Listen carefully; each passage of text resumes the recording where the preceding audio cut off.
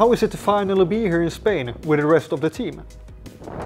Yeah, it's really good. You know, um, it's been a long time away, but it's good to be back with the boys now, and uh, yeah, really get cracking, and yeah, get the season underway. So I'm looking forward to it. Have you looked forward to join the rest of the team here in Spain? Yeah, of course. You know, there's it's crazy times around the world, so you know you have to be responsible and you have to do your job. And obviously, I had to be in quarantine and um, take my uh, COVID test, but you know it's all part of the game. And um, yeah, I'm just happy now to be back with the team and really push on. And yeah, look forward to getting the pre-season and games underway. Last season, you scored 7 goals and made 1 assist. You also played 27 out of 30 games. Are you satisfied with the outcome of your performance? Uh, I think you know you can never be satisfied with what you're doing. I think there's always things where you can aim for more. You can always get better. Um, you know, I looked at my games and there's things that I have to improve on and help the team more. So, so yeah, I think um, you know it was a good start. But this season I'm gonna score even more goals, more assists, and play even more games. So that's the guess, the aim.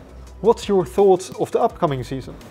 Yeah, you know, it's it's, it's a it's a new chance, it's a new challenge. Um, everyone's looking forward to it. Um, myself, I'm just trying to take this pre-season to get as fit as possible, make sure that I'm up to speed, and um, yeah, we take it from there. Really, I think yeah, the most important thing is making sure you're healthy and injury-free.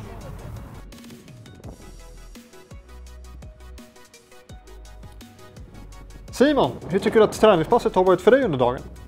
Eh, Det har varit, eh, det har varit bra. Eh, Det är kul att komma igång och röra sig ute på planen igen. Och, första gången jag har fotbollsskorna på mig på ett tag så det var, det var kul.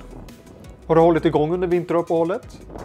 Det blev inte så mycket för jag fick, eh, fick corona under, eh, över julen. Så eh, eh, det, blev inte så mycket tack vare det.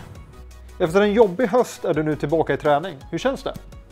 Ehm, Jag börjar komma, börjar komma tillbaka lite som sagt första dagen idag med fotbollsskor på ett, eh, på ett bra tag. Eh, Så um, det är lite till eh, att hämta men det, det går framåt.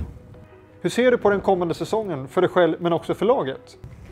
Eh, det är en spännande säsong. Ehm, eh, ja, nu har vi fått eh, får vi en försäsong på oss här och spela ihop oss och kanske spela på ett sätt som Amir vill och han får lite större chans att sätta sin prägel på det.